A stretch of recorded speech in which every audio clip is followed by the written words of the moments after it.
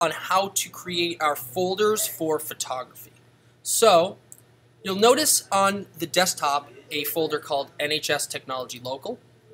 If you double click that, the first thing that you're going to see is our class folders. So semester 2, for instance, period 1, photography.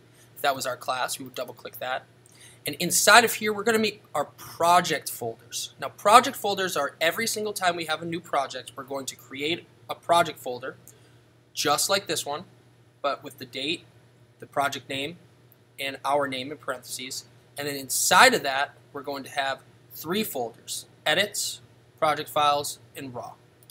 So say it was February 2nd, 2018, and I was doing rule of thirds.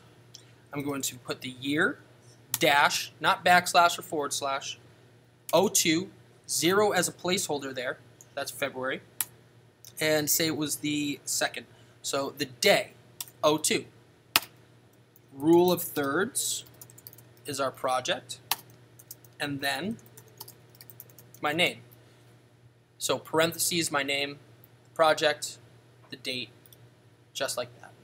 Inside of here, I'm going to right click, new folder, raw, right click, new folder, edits, right click, new folder, project files.